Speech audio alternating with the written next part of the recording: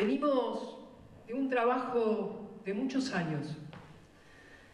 Ese trabajo que nos lleva a la, cercanía permanente con, con cada uno de nuestros vecinos. La lista que encabeza Vilma como nuestra candidata intendente, pero también la lista que tiene hombres y mujeres, tanto en el Consejo Deliberante como en el Consejo Escolar, que a todos nosotros nos infla el pecho. A partir de este momento empezamos el, tramo final para que la próxima intendente de la ciudad sea Vilma Baragiola. Y estamos convencidos porque el marplatense, el batanense, aquellos que nos, nos van a interpelar a la hora de elegir su voto, saben que acá hay un grupo de gente que ha transitado cada barrio, cada calle y su propia historia en la ciudad de Mar del Plata.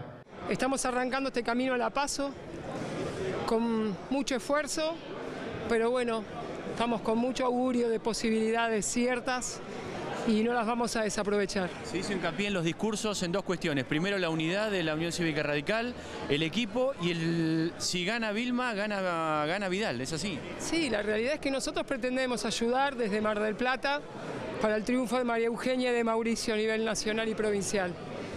Así que nada, estamos decididos a eso. ¿Cuál sería una prioridad, Vilma, para Mar del Plata el día 10 de diciembre?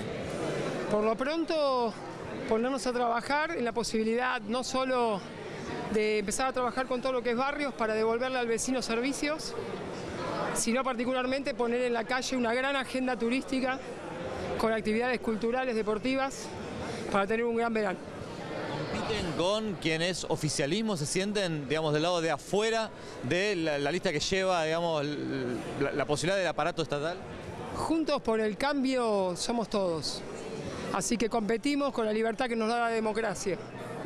Yo no tengo duda que juntas con María Eugenia vamos a tener un gran triunfo.